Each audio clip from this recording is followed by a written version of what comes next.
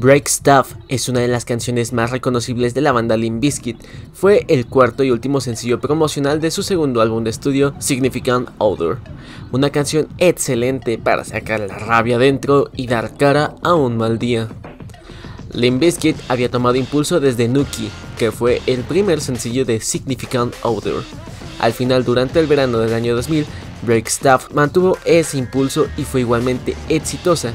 Algunos meses después, su siguiente álbum, Chocolate, Starfish and the Hot Dog Flower Water, llegaría con más éxitos.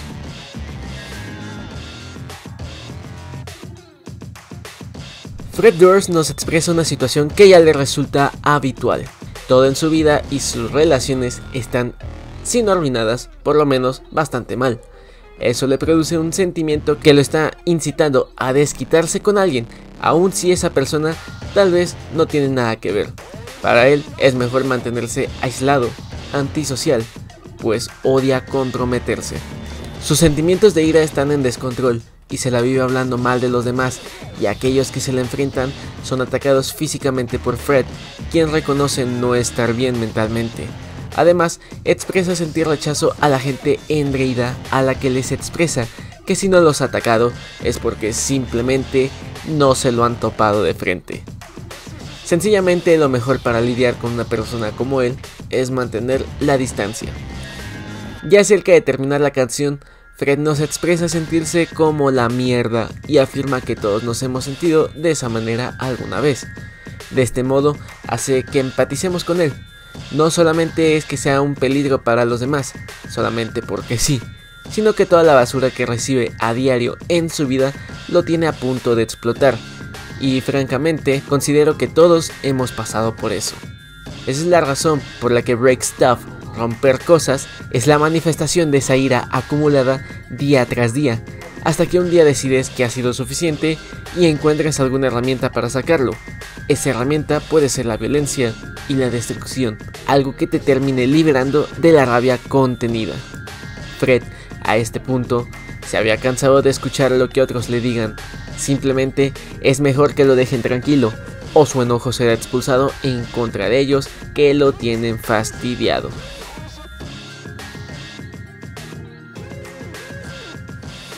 El video oficial de la canción ganó el premio a Mejor Video de Rock de MTV Video Music Awards, superando a sus competidores, entre los que se encontraba Metallica, Korn y Rage Against the Machine. Estos últimos no se lo tomarían nada bien, y Tim Comerford, bajista de la banda, subió al escenario intentando desviar la atención que estaba teniendo la victoria de Limp Bizkit. Competíamos contra Limp Bizkit, una de las bandas más tontas de la historia de la música. Los miembros de Limp Bizkit se lo tomaron con humor. Este tipo es el rock and roll, él debería recibir el premio, dijo Fred Durst. Durante su presentación en Woodstock del año 1999, cuando la banda interpretó Break Stuff, la multitud se metió tanto en la canción que comenzaron a destruir cualquier cosa que pudieran encontrar. El calor de ese día era infernal y había malas condiciones en el evento, lo que había enfurecido a la multitud. A pesar de los daños materiales y la anarquía que se vivía, el show no se detuvo. El resto de las bandas se presentó y el último día del festival la gente comenzó a quemar las cosas que habían destruido la noche anterior junto a Limp. El luchador de la UFC, Tito Ortiz, no pensó en mejor canción que Break Stuff para hacer su tema de entrada, la cual estuvo utilizando entre 2001 y 2005. Richard Cheese and Long Against the Machine, conocido por hacer reinterpretaciones de canciones famosas en estilo long, que es un género similar al jazz, hizo una interpretación de la canción. Personalmente creo que deben escucharla, ya que una letra tan violenta en un ritmo tan amigable me resulta divertido. Todo lo contrario es la reinterpretación que hizo el grupo Pattern Pending, en la que reversionan Break Stuff en una balada de piano. Mm, sí, dejamos lo divertido para pasar a algo más melancólico, pero igual de violento. La banda australiana Confession y la cantante Kay Flay también reinterpretaron la canción, junto a la banda All Time Low, que la estuvieron tocando en vivo, así como en su momento igual lo hicieron los canadienses Three Days Grace, quienes la tocaron en distintas ocasiones, cuando Adam Gontier aún era el vocalista y también cuando el puesto fue tomado por Matt Walsh. Por último, la conocida banda de punk rusa Pussy Riot reinterpretaron la canción para un episodio de la serie In From the Cold de Netflix.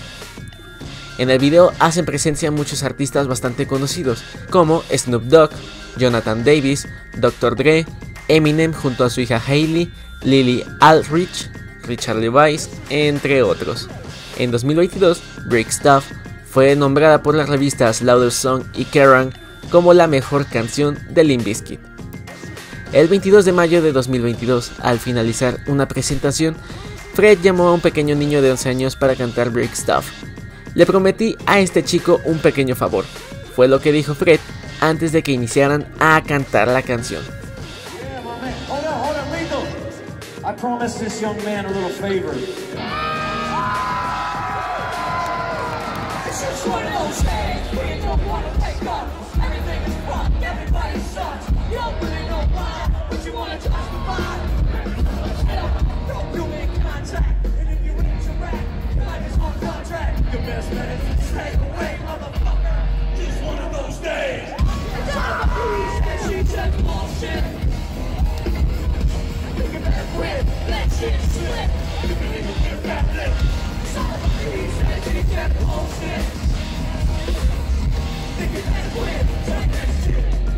Como últimas curiosidades están las apariciones que Limp Bizkit ha hecho en las series de televisión The Giants All Stars, The Giants, Raimi y Entourage.